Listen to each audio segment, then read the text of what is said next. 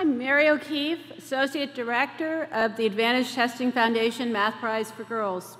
This morning's exams are still being scored um, at this moment, and the names of the top students from this morning's contest will be announced later this afternoon. So you will have to remain in some suspense for that announcement.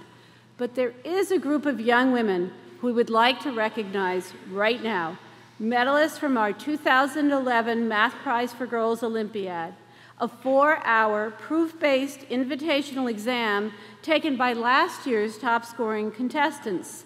These 19 students have demonstrated remarkable insight and maturity in proposing clear and rigorous solutions to the very challenging problems on last November's Olympiad.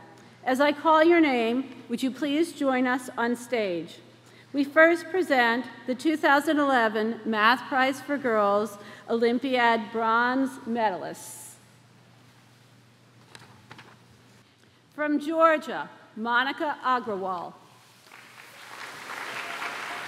From New Hampshire, Jai-Pei Chen. From Ontario, Canada, Melody Guan. From Florida, Elaine Lynn.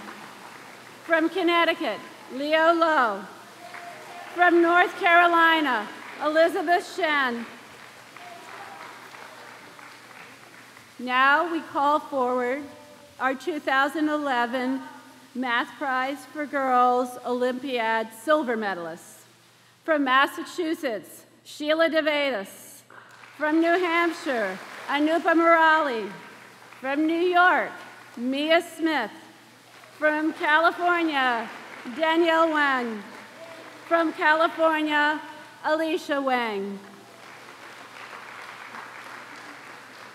Finally, we call forward our 2011 Math Prize for Girls Olympiad gold medalists. From California, Julia Huang.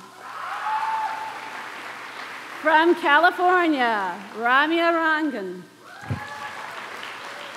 From Massachusetts, Christina Chen. And from Virginia, Victoria Xia. Our heartfelt congratulations to all of you. The words on your medal come from Sonia Kovalevsky, the tra celebrated, trailblazing 19th century mathematician whose portrait hangs prominently in MIT's math department. You have indeed looked deeper than others looked and demonstrate the, the utmost in imagination. Ladies and gentlemen, the 2011 Math Prize for Girls Olympiad medalists.